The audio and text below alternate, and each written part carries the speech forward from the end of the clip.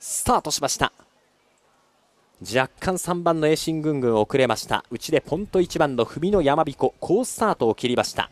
押し通して真ん中からは9番のサムソンズプライドスタンド前まず出ていきます。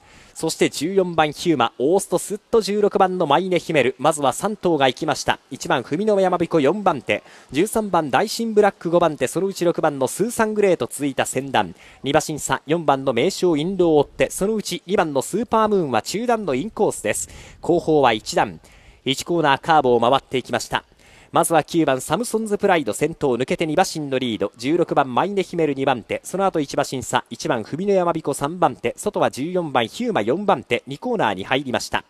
2馬審査13番大新ブラックは5番手です。そのうち6番のスーサングレート6番手。2コーナー回って向こう上面。あと中段4番の名称インロー。そのうち2番のスーパームーン。ここから先頭までは8馬身ぐらい。その後ろに15番の桜ボールドつけました。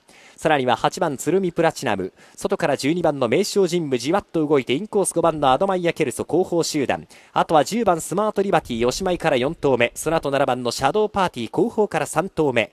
11番ホーカーテンペストわずかに3番栄新軍軍最高峰。800はすでに切って3コーナーカーブに入ります。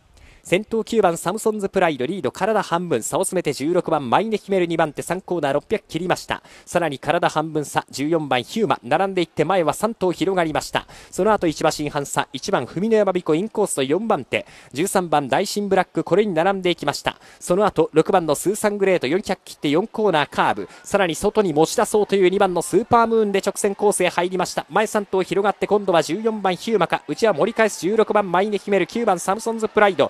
離れた外から2番のスーパームーンと7番のシャドーパーティーが追い込んで一気に様子を一変。2番のスーパームーン7番シャドーパーティー外から15番桜ボールの11番ホーカーテンペスト。2番のスーパームーンかゴール。